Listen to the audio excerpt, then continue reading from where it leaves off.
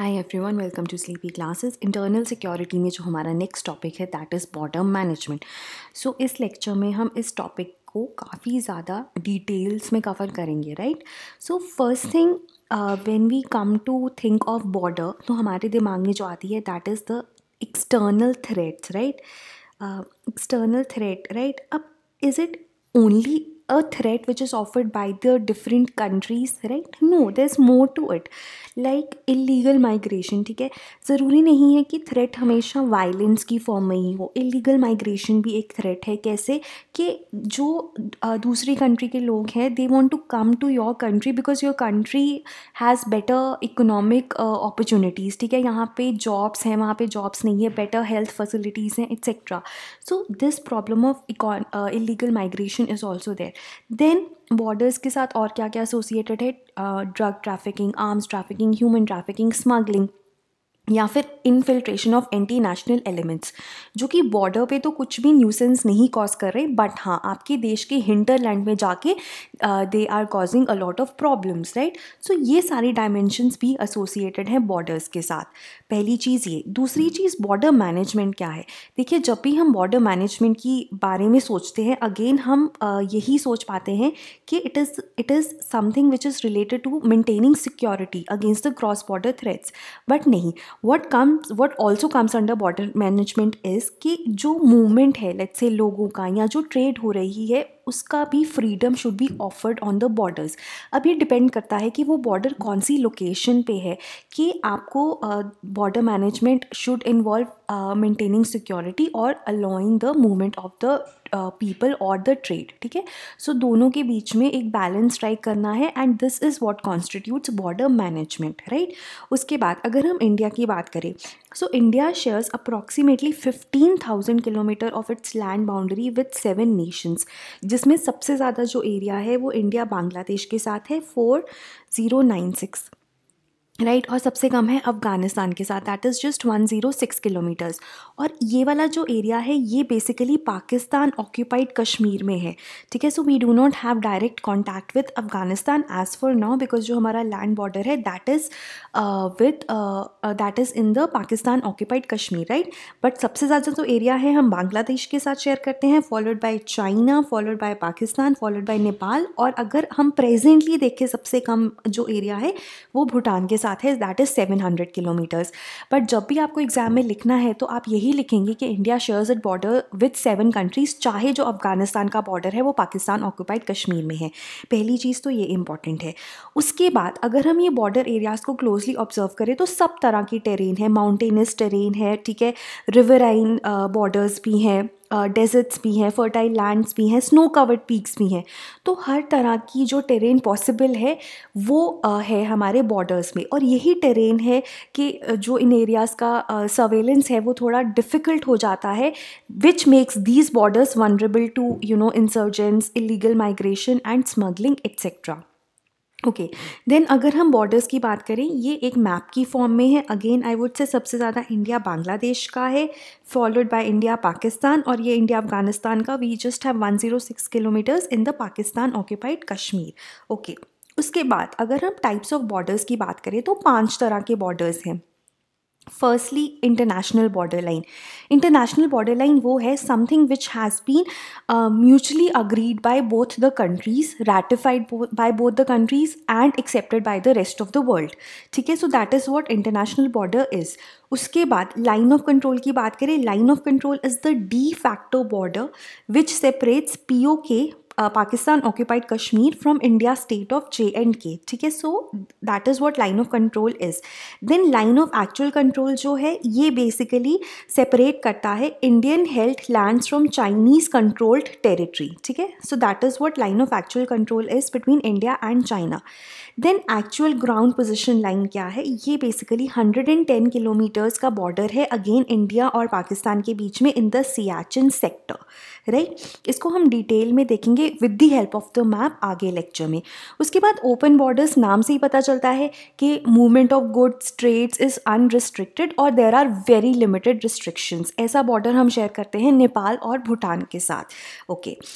उसके बाद जो ग्राउंड सिचुएशन है, वो वेरी करती है डिफरेंट बॉर्डर्स पे। अगर हम बात करें एजीपीएल की एक्चुअल ग्राउंड पोजिशन लाइन और लाइन ऑफ़ कंट्रोल की तो यहाँ पे ऑलमोस्ट वॉर लाइक सिचुएशन है। बांग्लादेश बॉर्डर पे ह्यूमैनिटेरियन प्रॉब्लम है। क्यों? क्योंकि इलीगल माइग्रेशन बहुत ज़्यादा है वहाँ पर, ठीक है? उसके बाद अगर हम चाइना से बात करें so there are regular incursions but mostly it is a tranquil border Bhutan और नेपाल के साथ again they are porous borders open borders but वहाँ पर क्या इशूज़ हैं? वहाँ पर स्मगलिंग का इशू है। ठीक है? म्यांमार बॉर्डर का जो सबसे इंपॉर्टेंट एस्पेक्ट है, वो है उसका terrain it is very rugged very difficult and काफ़ी ज़्यादा थिक वेजिटेशन कवर है. इसीलिए इसको जो मैन करती है, जो असम राइफल्स है and it is specifically trained for Indian Myanmar border ठीक है? So different borders different situations right so अगर हम अब बॉर्डर मैनेजमेंट की बात करें so it is relating it encompasses includes border security infrastructure economy population and perception management so ये elements है बॉर्डर मैनेजमेंट के, ना कि सिर्फ़ सिक्योरिटी और अगर हम चैलेंजेस को बात करें ब्रॉडली ये चैलेंजेस सब बॉर्डर्स पे तो हैं ही. Illegal migration illegal activity drugs arms trafficking fake या काउंटर फीट करेंसीज ठीक है इंसर्जेंट ग्रुप्स और टेरेन ठीक है? सो ये चैलेंजेस है जो मोर और लेस सब बॉर्डर्स पे एग्जिस्ट करते हैं. अच्छा उसके बाद अगर हम बॉर्डर मैनेजमेंट की बात करें तो government of India border management कैसे करती है? It is divided into three categories कौन सी कौन सी we have people people includes the forces for example B S F I D B P Assam rifles Indian army Indian navy and even coast guard processes integrated check post joint patrolling border outpost ये सब हम detail में आगे lecture में पढ़ेंगे. अभी just to give you an idea उसके बाद अभी टेक्नोलॉजी जैसे हमने कहा कि काफ़ी ज़्यादा जो टेरेन है, वो डिफ़िकल्ट है माउंटेनस है, लोगों के लिए इनहॉस्पिटेबल है, ठीक है? तो वहाँ पर अब since it's not possible humanly possible तो वहाँ पर टेक्नोलॉजी आपको हेल्प कर सकती है in the surveillance using the drones ठीक है? उसके बाद वेपन स्मार्ट फेंसेस ठीक है एक्सेट्रा एक्सेट्रा सो टेक्नोलॉजी का भी रोल है। तो border management it involve three categories people processes and technology right right. उसके बाद ये तो हो गया एक स्पेसिफिक बॉर्डर मैनेजमेंट के ऊपर। नेक्स्ट चीज़ आती है कि three different types of situations can exist along the border at any point of time और ये सब बॉर्डर्स के लिए ट्रू है कि इन तीनों में से कोई एक सिचुएशन होगी एट द बॉर्डर कौन सी तीन सिचुएशंस है? Peace time less than war time and war time right अगर हम वॉर टाइम और लेस देन वॉर टाइम की बात करें तो जब वॉर है या वॉर से पहले आप ले लीजिए इमीडिएटली पहले जब टेंशन्स राइज हो रही हैं तब uh, कौन बॉर्डर मैनेजमेंट में इंगेज होता है? आर्म्ड फोर्सेस आर्म्ड फोर्सेस से we mean army navy and air force so they are present at the border during war time और लेस देन वॉर टाइम और अगर हम पीस टाइम की बात करें so it is the paramilitary forces ठीक है? पैरामिलिट्री फोर्सेस या फिर जो सेंट्रल आर्म्ड पुलिस फोर्स है that that is there during the peace time right? उसके बाद India follows the principle of one border one border guarding force कैसे?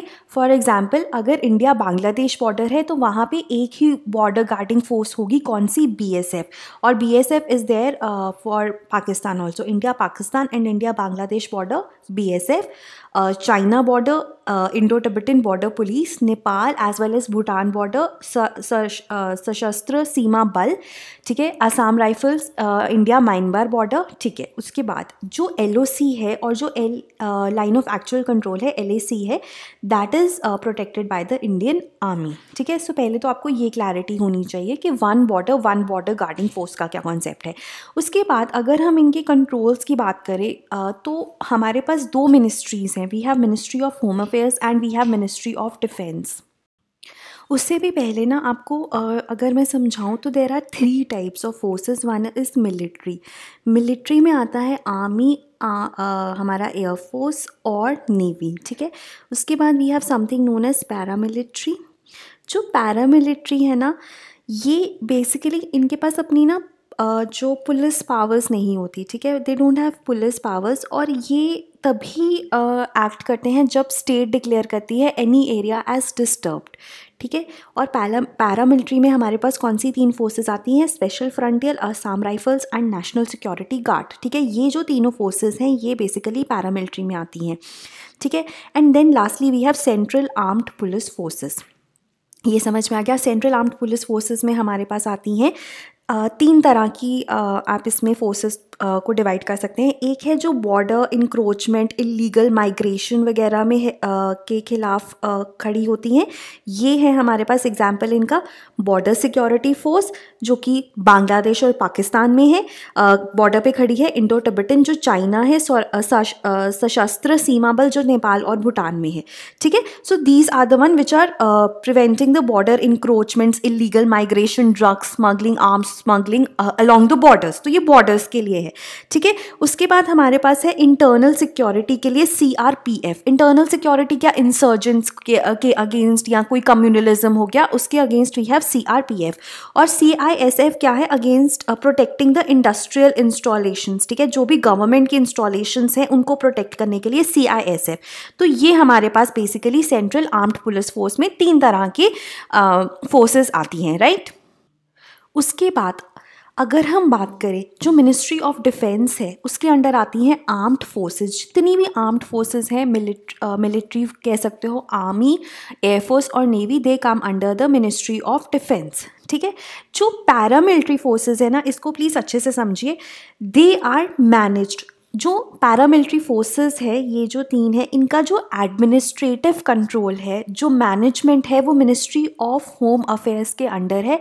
लेकिन जो ऑपरेशनल कंट्रोल है which is the major control that is under the army and that is under the ministry of defence ठीक है? This is how the framework of paramilitary forces is अगर हम army navy air force की बात करें या Indian armed forces की बात करें, उनका operational administrative control ministry of defence के अंडर है। सेंट्रल आर्म्ड पुलिस की पुलिस फोर्स की बात करें अगेन इनका जो एडमिनिस्ट्रेटिव और ऑपरेशनल कंट्रोल है, दोनों मिनिस्ट्री ऑफ़ होम अफेयर्स के अंडर है। सिर्फ़ पैरामिलिट्री फोर्सेस ऐसी हैं जिनका operational control is under the army और ministry of defence and the administrative control is under the ministry of home affairs है so this is very very important for you to know the paramilitary forces they function under the administrative control of the home ministry but they are headed by और जो इनका operational control है that is under the ministry of defense ठीक है ये इस पर हम अभी आते हैं उसके बाद जो इंटरनेशनल कन्वेंशंस हैं ना, वो ये कहती हैं कि जो पैरामिलिट्री फोर्सेस हैं या जो सेंट्रल आर्म्ड पुलिस फोर्स हैं, ये बेसिकली बॉर्डर्स को गार्ड करेंगे और जो आर्मी है that remains behind the first line of defence which is which are these ठीक है? ये basically first line of defence है। अगर हम चाइना का भी एग्ज़ाम्पल लें तो चाइना की एक पैरामिलिट्री फोर्स है that is Chinese People's armed police वो गार्ड करती है बॉर्डर्स को, जो पी एल ए है पीपल्स लिबरेशन आर्मी है that is station behind them that is this is according to the international convention और हमारे केस में भी ऐसा ही है कि बॉर्डर सिक्योरिटी फोर्स हो गई आसाम राइफल्स हो गई I D B P these are forces which are station at the borders where is army is behind them ठीक है ये चीज़। उसके बाद आते हैं uh, ये जो हम पिटिशन है इसके ऊपर। उससे भी पहले। अगर हम पैरामिलिट्री फोर्सेस की बात करें तो ये तीन पैरामिलिट्री फोर्सेस हैं, जो ये फोर्सेस हैं, ये सेंट्रल आर्म्ड पुलिस फोर्स के अंडर है। पैरामिलिट्री फोर्सेस में स्पेशल फ्रंटियर फोर्स जो थी, ये नाइनटीन में बनी थी। ये बेसिकली चाइनीज़ के against he covert to carry out covert operation against the Chinese Assam rifles की अगर हम बात करें तो इंडो म्यांमार बॉर्डर को एक तो ये गार्ड करते हैं, उसके बाद इंटरनल सिक्योरिटी अगर सिचुएशन हो जाती है for example insurgency in North East के अगेंस्ट भी दीज आर स्टेशनड ठीक है? So that is the two purposes of Assam Rifles one is insurgency North East at the same time Indo Myanmar border को guard करते हैं. And then we had National Security Guard ये basically operation blue star जो हुआ था उसके बाद बना था uh, कि अगर टेररिस्ट लाइक सिचुएशन हो जाती है in in in the country तो वहाँ उसको टैकल करने के लिए, ठीक है? सो अगर हम बात करें असम राइफल्स की, अब Assam rifles they are the ones which are guarding the Myanmar border right तो इसमें असम राइफल्स में एक पिटिशन वॉज़ फाइल्ड कि सिंस ये दो मिनिस्ट्रीज़ के अंडर है तो that creates a lot of problems तो इसको एक मिनिस्ट्री के अंडर शिफ्ट कर देना चाहिए। ठीक है? उसमें भी जो basically ministry of home affairs है, ठीक है? मिनिस्ट्री ऑफ़ अगर हम देखें आसाम राइफल्स को तो ये मिनिस्ट्री ऑफ़ होम अफेयर्स इसके पास सिर्फ़ एडमिनिस्ट्रेटिव कंट्रोल है। अगर हम इसका मेजरली कंट्रोल देखें तो वो मिनिस्ट्री ऑफ़ डिफेंस के पास ही है। ठीक है? अब मिनिस्ट्री ऑफ़ होम अफेयर्स क्या चाहता था कि जो इंडो म्यांमार बॉर्डर है, जो असम राइफल्स अभी गार्ड करता है, वो इंडो म्यांमार बॉर्डर गार्ड किया जाए बीएसएफ से। ठीक है? वो गार्ड करवाया जाए बीएसएफ से, ताकि जो कंट्रोल है, क्योंकि बीएसएफ तो wholeheartedly ministry of home affairs के अंडर है तो जो कंट्रोल है वो मिनिस्ट्री ऑफ़ होम अफेयर्स के अंडर ही आ जाए। इसके कारण जो बीएसएफ है, उसके स्पेशलाइज्ड 41 बटालियंस भी रेस किए गए थे। क्योंकि जो बीएसएफ है, वो इतनी जो टेरेन टफ टेरेन है म्यांमार बॉर्डर की, वहाँ के लिए वहाँ के लिए ट्रेंड नहीं था। सो उसके लिए स्पेशलाइज्ड बटालियंस पर ऑल्सो देर और एक डेट भी दे दी गई थी कि इस दिन जो कंट्रोल है इंडो म्यांमार बॉर्डर का, वो असम राइफल से लेके बीएसएफ को दे दिया जाएगा। क्योंकि मिनिस्ट्री ऑफ़ होम अफेयर्स ये कह रहा था कि तब ये जो कंट्रोल है बी एस एफ़ सेंस उसी के अंडर है तो control of the Indo Myanmar border भी उसी के अंडर आ जाएगा और आर्मी के कंट्रोल से निकल जाएगा। लेकिन इस पर अब क्या मुद्दा था कि जो आर्मी है और जो असम राइफल्स है they have been guarding this border since long उनको टेरेन के बारे में पता है। तो ऐसा कहा गया था कि अगर ये कंट्रोल बीएसएफ को दे दिया गया तो जो भी उन्होंने अभी तक इंसर्जेंसी कम करी है या प्रिवेंट करी है, वो ज़ीरो पे आ जाएगा। वो काम सारा ही नलिफाई हो जाएगा। So it was eventually decided और ये जो पटिशन थी, ये रद्द कर दी गई थी और जो कंट्रोल था इंडो म्यांमार बॉर्डर का, वो ए असम राइफल्स या मिनिस्ट्री ऑफ़ डिफेंस के पास ही रह गया था। ठीक है? सो ये इशू रहता, ये इशू काफ़ी ज़्यादा इंपॉर्टेंट है कि ऐसा भी कहा जाता है मिनिस्ट्री ऑफ़ होम अफेयर्स और डिफेंस हमेशा टग ऑफ़ वॉर पे रहते हैं because of the control of the paramilitary forces right दूसरी चीज़ आपको ये देखनी है कि जो असम राइफल्स है, जो इसके ऑफिसर्स हैं ना they are not treated at par with the army अब ये है तो मिनिस्ट्री ऑफ़ डिफेंस के अंडर बट इनको प्रमोशंस नहीं दी जाती, जो सहूलतें आर्मी वालों को मिलती हैं, वो इनको नहीं मिलती। सो यहाँ पे काफ़ी ज़्यादा असम राइफल्स के ऑफिसर्स में काफ़ी ज़्यादा एलियनेशन है। ठीक है? उसके बाद अब मिनिस्ट्री ऑफ़ डिफेंस अब मिनिस्ट्री ऑफ़ होम अफेयर्स तो कहता है कि बीएसएफ को दे दो। अब मिनिस्ट्री ऑफ़ डिफेंस क्या कहता है? जो इंडिया चाइना बॉर्डर है, जहाँ पे आईडीबीपी है, उसको आईडीपीपी को हटाकर वहाँ पे एआर असम राइफल्स को लगा दिया जाए, क्योंकि जो असम राइफल्स है, वो उनके ऑपरेशनल कंट्रोल के अंडर है। ठीक है? सो ये जो टग ऑफ़ वॉर है, ये चलता रहता है। Okay okay. So moving ahead अगर हम टू मेजर डिस्प्यूटेड बॉर्डर्स की बात करें तो we have China and Pakistan ठीक है? अब देखो इंडिया और पाकिस्तान में जो हमने देखा है बॉर्डर की लेंथ है that is approximately three three two three ठीक है? और ये चार स्टेट्स uh, में डिवाइडेड है कौन सी कौन C? J and K Punjab then we have Rajasthan and Gujarat इसमें ना आपको ये भी क्वेश्चन आ सकता है कि सबसे ज़्यादा लेंथ किसके कौन सी स्टेट के साथ है? जे एंड के दूसरे नंबर पर कौन सी है? दूसरे नंबर पर इट इज़ राजस्थान ठीक है? सो अरेंज तो फॉलोइंग में आ सकता है आपको। उसके बाद अगर हम बॉर्डर की बात करें तो जो one six one zero six kilometre border है अफ़गानिस्तान के साथ, वो तो पी के अंडर है।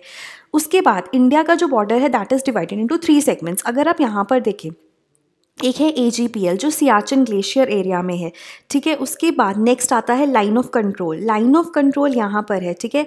ये अगर हम बात करें, ये सियाचिन एरिया है between N J nine eight four two and Indira col it is A G P L उसके बाद लाइन ऑफ़ कंट्रोल शुरू हो जाता है, ठीक है? Which is there in the Sangam area J and K ठीक है? ये बेसिकली है पाकिस्तान ऑक्यूपाइड कश्मीर और जे एन के बीच में डी फैक्टो लाइन उसके बाद इंटरनेशनल बाउंड्री लाइन है from sea end point to जो बाकी इंडिया पाकिस्तान बॉर्डर है, वो डिसाइडेड है म्यूचुअली डिसाइडेड है रेटिफाइड है accepted by the rest of the world है तो उसको इंटरनेशनल बाउंड्री कहा जाता है।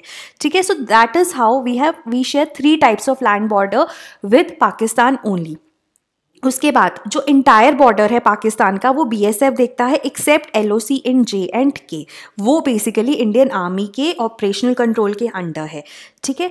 उसके बाद in the sixty years we have had a lot of confrontations ठीक है? इसको लो इंटेंसिटी लिमिटेड वॉर भी कहा जाता है, लेकिन 2003 में सीज फायर के बाद जो ऐसा कहा गया था कि जो वायलेशंस थी, जो एलओसी की वायलेशंस थी, जो वो काफ़ी कम हो गई थी, लेकिन अभी पास्ट ईयर्स में फिर से दे हैव इंक्रीज ठीक है?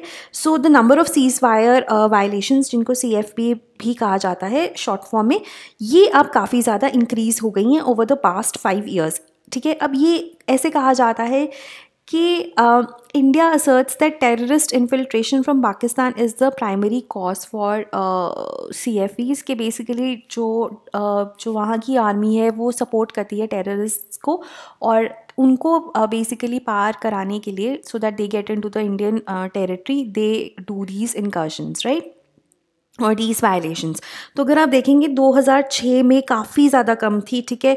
और अभी अगर हम देखें तो बहुत ज़्यादा बढ़ गई हैं। It has it has reached the सबसे ज़्यादा बढ़ गई हैं, ठीक है? 2003 के जो हमारा जो सीज़ फायर का जो अग्रीमेंट है उसके बाद इट डिक्रीज्ड अगर हम चैलेंजेस की बात करें इंडिया, पाकिस्तान में, देखो, Pakistan refuse to recognise the international border in J and K है ना?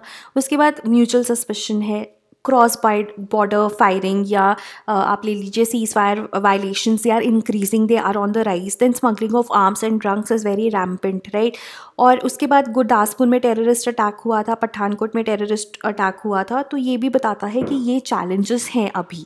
अब इस, ये जो अटैक हुआ था ना, उसके बाद अप्रैल 2006 में पठानकोट अटैक के बाद जो मिनिस्ट्री ऑफ़ होम अफेयर्स है ना, इन्होंने कमेटी बनाई थी, Madhukar Gupta committee which is he was a home secretary तो ये कमेटी बनाई गई थी कि कैसे ये जो टेररिस्ट अटैक है, ये जो गैप्स हैं वनरेबिलिटी है हमारे बॉर्डर्स की, इसको कैसे कम किया जाए। ठीक है? सो दे हैड जो टेररिस्ट थे they had entered India by breaching the India Pakistan border ठीक है? सो ये कमेटी ने एग्जामिन किया सिक्योरिटी मैकेनिज्म्स क्या क्या हैं और कैसे जो डिफरेंट बॉर्डर्स हैं तो दे ऑफ़र डिफरेंट चैलेंजेस आप ऐसे ले लीजिए, हर एक बॉर्डर में डिफरेंट क्लाइमेट है डिफरेंट टोपोग्राफी है।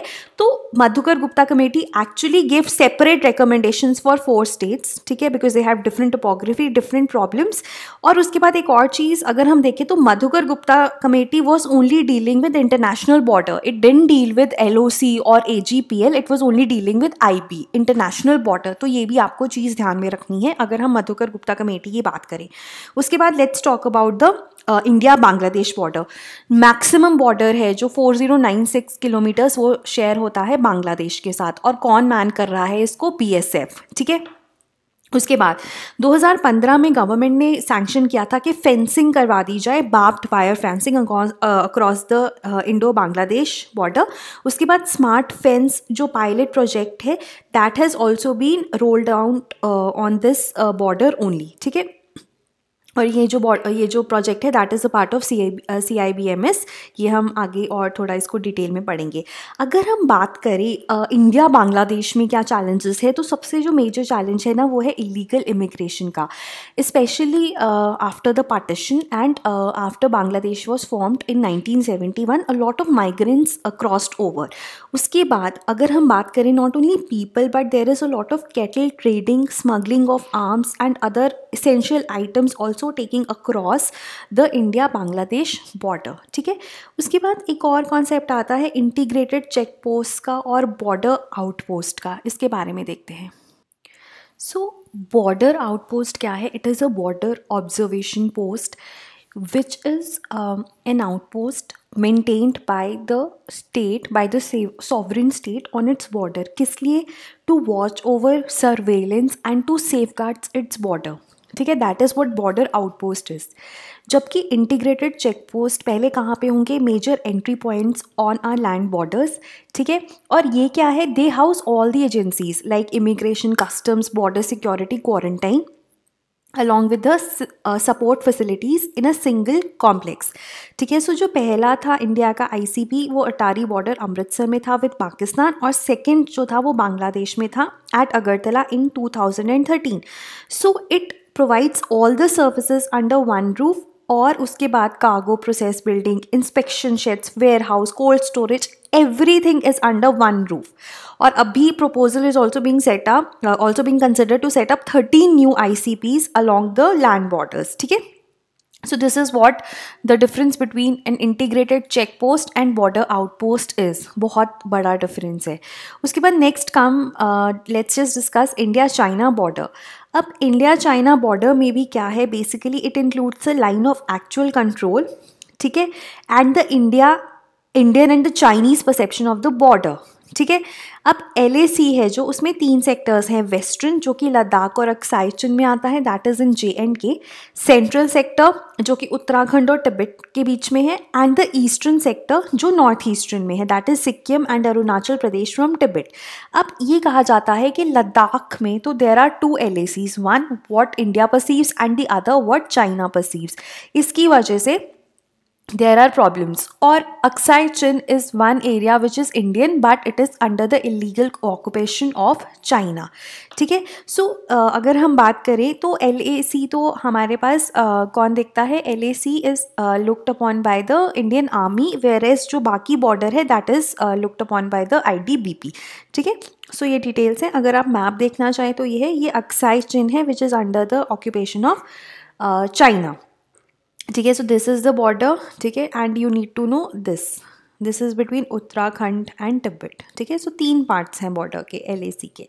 अच्छा उसके बाद जो चाइना है ना अब चाइना क्या कर रहा है? China is building a lot of infrastructure on its side ठीक है अब उसने हाई ऑल्टीट्यूड एयरफील्ड्स बना दी हैं बॉर्डर डिफेंसेस को कंस्ट्रक्ट uh, कर रहा है रीफर्बिश कर रहा है along the entire length of China's border with India be it the construction of rate roads और रेल ठीक है? उसके बाद ऐसा कहा जाता है कि China fibre optic communication links हैं, ठीक है? और within forty eight hours China can mobilise as much as troops to outnumber Indian troops in the ratio of three is to one with superior firepower तो China एक ऐसा neighbour है जो बहुत ज़्यादा वेल इक्विप्ड है एज़ कंपेयर टू इंडिया ठीक है? सो अब अगर हम बात करें तो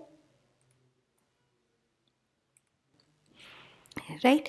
So if we look at uh, the equipment the technology that the chinese are using तो ये काफ़ी ज़्यादा एडवांस्ड है ठीक है? सो एक तो यही है।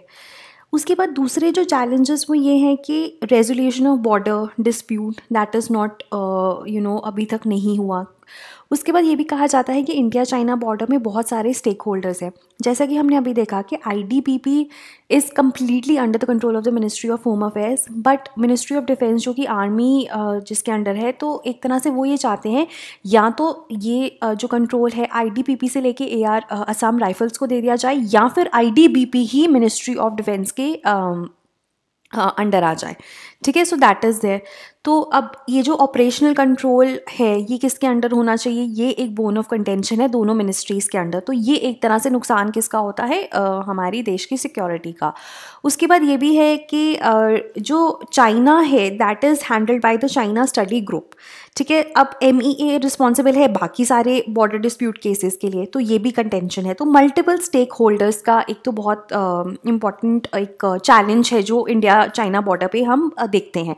उसके बाद अगर हम चाइनीज़ की बात करें they have you know they are very advanced as far as technologies concern उसके बाद जो उनका इंफ्रास्ट्रक्चर है that is also very advanced India की साइड पे बहुत ही लिमिटेड सा इंफ्रास्ट्रक्चर है और उसके लिए कुछ काम भी नहीं हो रहा है। Like seventy three roads were plan on the Indian side of the border but only thirteen had been constructed.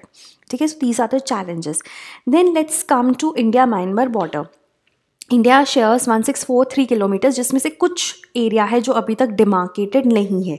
उसके बाद one thing which you need to know about India Myanmar border is कि जो terrain uh, है वो बहुत ज़्यादा difficult है and it is restricted the movement is restricted to existing tracts only काफ़ी ज़्यादा वेजिटेशन है जो रिस्ट्रिक्ट करती है even ground and aerial observations को।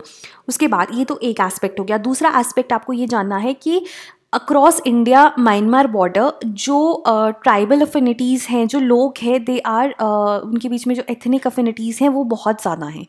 ठीक है? Cross border ethnic ties are very very आप ले लीजिए यहाँ पर आपको बहुत uh, देखने को मिलती हैं। अब उसके बाद it this border is manned by army and the Assam rifles right अगर हम चैलेंजेस की बात करें So challenges are because of the close border ethnic ties, several ins insurgent groups have found sanctuaries for themselves in Myanmar.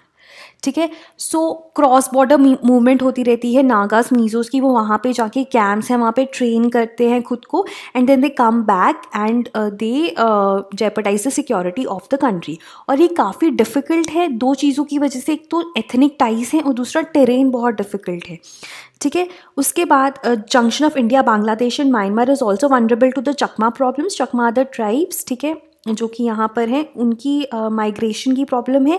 उसके बाद Muslims है ना, जो रोहिंग्यास हैं they are infiltrating from Myanmar वो प्रॉब्लम है।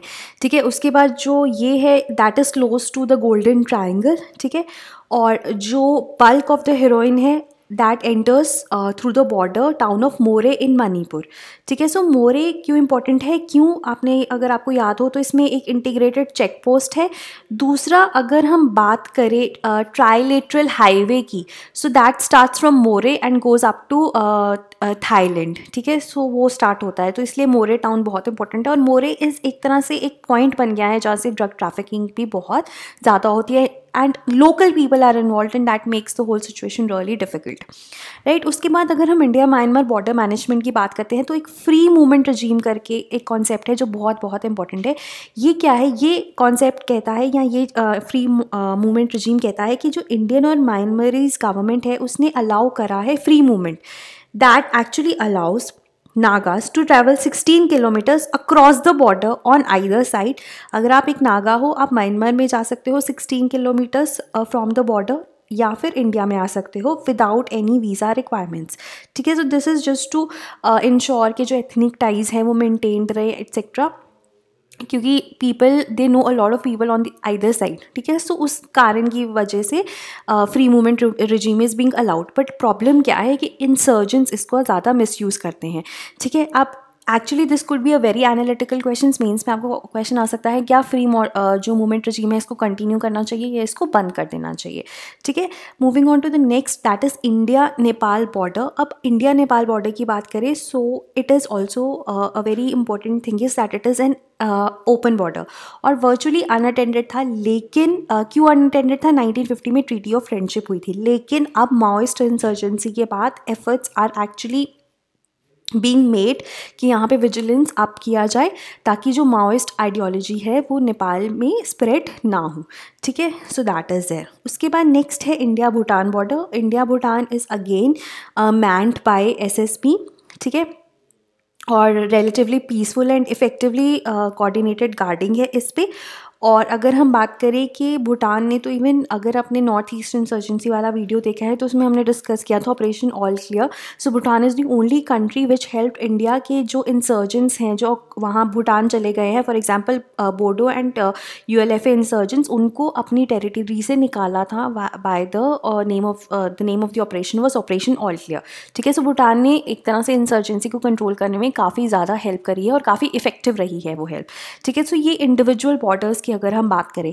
उसके बाद अगर हम जनरली बात करते हैं ना एरिया ऑफ़ कंसर्न्स क्या हैं as far as border management it goes तो पहली चीज़ है बॉर्डर मैनेजमेंट के ऊपर हमारी कोई पॉलिसी नहीं है। पहले तो हमारे पास डिपार्टमेंट ऑफ़ बॉर्डर मैनेजमेंट भी नहीं था, अब that was formulated under the ministry of home affairs in 2004 लेकिन जो क्रिटिकल इश्यूज़ हैं कमांड किसके पास होगी कंट्रोल किसके पास होगा, वो रिजॉल्व नहीं हुए हैं and for that we need a policy on border management right next है मल्टीपल स्टेक होल्डर्स जैसे कि जो बॉर्डर्स है, उनको डिमार्केट एम करता है, लेकिन एमएचए को रिस्पॉन्सिबिलिटी दी गई है मैनेज बॉर्डर्स को करने की। ठीक है तो अब जैसे अगर हम देखें तो अभी तक जो बॉर्डर डिस्प्यूट्स हैं वो रिजॉल्व नहीं हुए हैं। ठीक है? सो वो एक कारण हो सकता है कि बॉर्डर मैनेजमेंट डिफ़िकल्ट हो, हो होती है। ठीक है? उसके बाद ये आप थोड़ा इसके बारे में अगर और डिटेल में जानें तो अगर हम बॉर्डर मैनेजमेंट की बात करें so it just does not include guarding defending and managing the borders but also includes local people trade etcetera तो हमें बेसिकली बॉर्डर मैनेजमेंट के ऊपर ध्यान देना चाहिए and it should be the responsibility of M H A ठीक है? So एक तो ये एम एच ए और एम ए ई के बीच में। दो स्टेक होल्डर्स उसके बाद पहले हमने पढ़ा था कि कैसे मिनिस्ट्री ऑफ़ डिफेंस और मिनिस्ट्री ऑफ़ होम अफेयर्स के बीच में इश्यूज़ हैं, ठीक है? वो वाले इश्यूज़ आप इसमें एलेबोरेटली लिख सकते हो। उसके बाद बिकॉज़ ऑफ़ द राइवलरी ठीक है? जो बाउंड्री डिस्प्यूट है be it with China be it Pakistan वो अभी तक नहीं हुआ है तो उसको सॉर्ट आउट करना बहुत ज़रूरी है। उसके बाद different borders need different approaches अब तीन तरह के बॉर्डर्स हो सकते हैं। Hostile enemy on one side leading to armed infiltration benign state on one side and armed but armed infiltration taking place benign state and benign border अब हर एक बॉर्डर पे डिफरेंट कंसिड्रेशंस होंगी, ठीक है? सो ये आप you can consider each and every border and right accordingly ठीक है?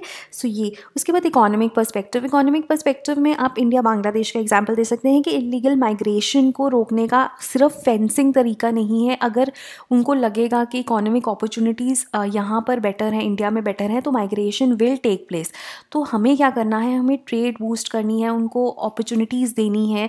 ठीक है ताकि जो माइग्रेशन है थोड़ी कम हो वहीं पे इकोनॉमिक अपॉर्चुनिटीज़ जो हैं वो डेवलप हों।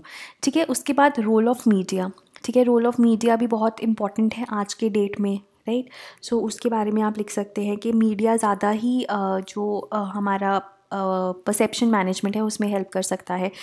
एट द सेम टाइम अगर हम नहीं मीडिया को यूज़ कर पा रहे तो ऑपोजिट भी हो सकता है राइट right? उसके बाद various measures for border management ठीक है, एक तो हम बात करते हैं सर्वेलेंस की, ठीक है, जिसमें fencing flood lighting role of technology में स्मार्ट फेंसिंग ड्रोन्स अगर जैसे टेरेन डिफ़िकल्ट है use of G I S and digitisation of maps aerial surveillance etcetera सारी जो सर्वेलेंस है वो आती है। दूसरी चीज़ है डेवलपमेंट अभी हमने देखा कि it is not about guarding only but it is also about the development ठीक है? So border area development is a initiative in that uh, respect right so it was introduced in 1903 as a centrally sponsored scheme और पहले it was implemented in the western border states ठीक है कि वहाँ पर development हो infrastructure develop हो etc later it was also shifted to the eastern state that shared a border with Bangladesh ठीक है अब अगर हम बी की बात करें border area development program की बात करें ये participatory ये decentralized है क्यों क्योंकि ये होता है पी के through autonomous councils and local bodies के through and it is implemented by department of water management which is under ministry of home affairs through the state governments at the same time जो guidelines है वो prepare कौन करता है? M H A ठीक है? In consultation with NITI Aayog ministry of finance ठीक है? एंड कंसर्न स्टेट गवर्नमेंट्स ठीक है? और जो फॉर्मुलेशन uh, है और एग्जीक्यूशन है वो स्टेट गवर्नमेंट्स ही करती हैं। और अगर हम स्टेट गवर्नमेंट्स में भी बात करें तो it is the P R Is and the local bodies ठीक है? और जो इम्प्लीमेंटेशन है उसकी that is monitored by the ministry of home affairs along with the state governments ठीक है? तो काफ़ी पार्टिसिपेटरी और डिसेंट्रलाइज अप्रोच है। उसके बाद रोल ऑफ़ टेक्नोलॉजी में हम smart fencing drones night surveillance capabilities hand held search lights flood lighting है ना, वो सब बात कर सकते हैं। आजकल टेक्नोलॉजी में artificial intelligence along with big data analysis है। तो ये भी कहता है कि it can actually help the border agencies to make every interaction simple and smart. Machine learning techniques help the border guarding forces and CAPF to train robots and unmanned systems ताकि जो border forces है उनकी capabilities भी enhance हो जाए and they can actually uh, you know uh, reach the remotest part of the uh, uh, country, the difficult terrains, harsh climate conditions, etc. ठीक है सो टेक्नोलॉजी वहाँ पे रोल प्ले करिए। और टेक्नोलॉजी में ही हम एक बहुत इंपॉर्टेंट चीज़ जो देखते हैं, वो है C I B M S that is comprehensive integrated border management system अगर हम ये देखें ये कॉम्बिनेशन है कि ह्यूमंस और टेक्नोलॉजी का एक कॉम्बिनेशन हम यूज़ कर रहे हैं फॉर बॉर्डर मैनेजमेंट ठीक है सो अगर हम टेक्नोलॉजीज़ की बात करें तो different devices are use for surveillance surveillance के लिए communication and data storage so sensors like thermal imager fibre optical sensors they have been mounted ठीक है? अब इनकी इंटीग्रेशन होगी along with the other technical systems of communication and data processing ठीक है? अब ये क्या होगा? अब इसके बाद क्या होगा? ये एक तरह से आ, ये जो डिफरेंट डिफरेंट सेंसर्स हैं, ये इन्फॉर्मेशन कलेक्ट करेंगी। ये इन्फॉर्मेशन जाएगी यूनिफा unified command and control centre के पास।